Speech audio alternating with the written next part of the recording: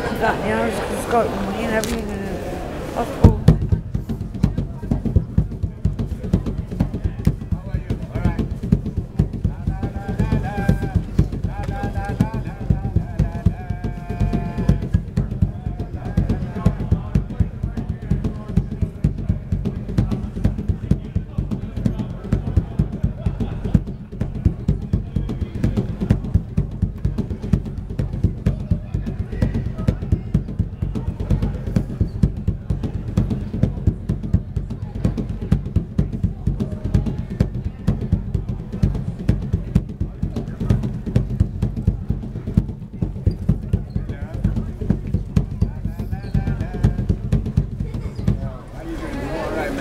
Was it?